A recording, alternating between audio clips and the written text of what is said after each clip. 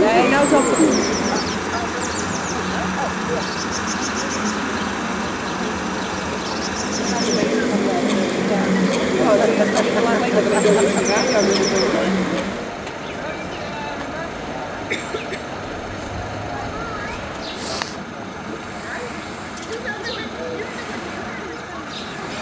Out of control.